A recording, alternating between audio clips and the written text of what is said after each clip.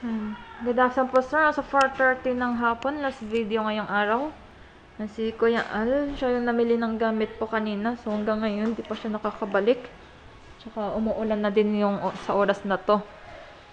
Dito sa Pine House 4. Dito sa room 6. Yan, dito na po sir, nagmamasilya ngayon si Ka Joseph.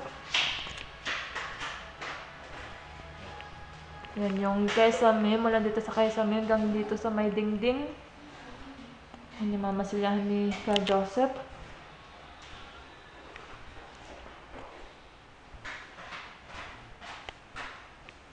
Mm, Halos lahat for masilya na.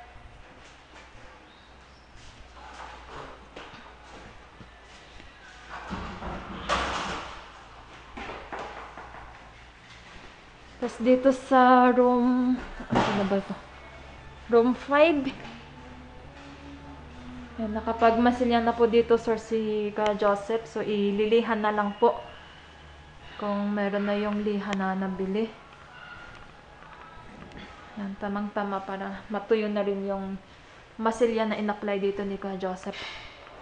Yan, madali na lang iliha.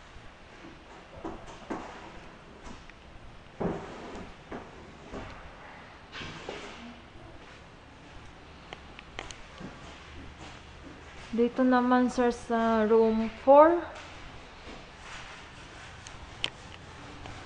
Ayan yung baseboard na po dito sir yung pinipintahan na ni Kuya Edgar.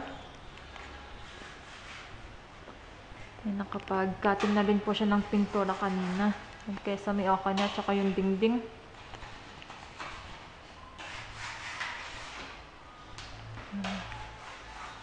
Itong sahig naman yung nililinisan po ngayon ni Kuya Maing. Itong mga tiles.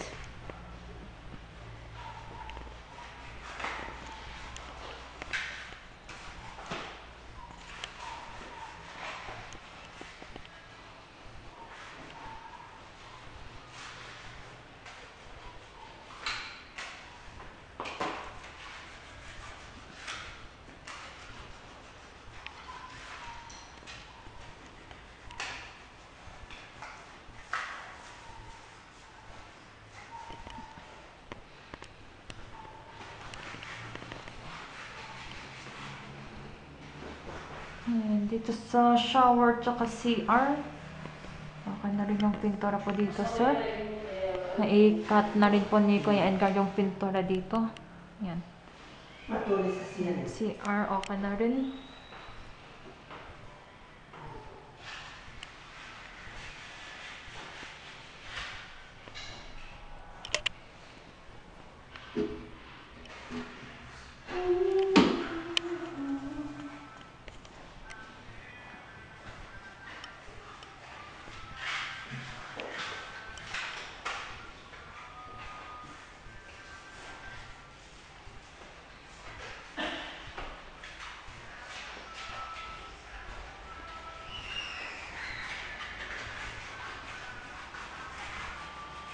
Wala, makaset ni ko ni.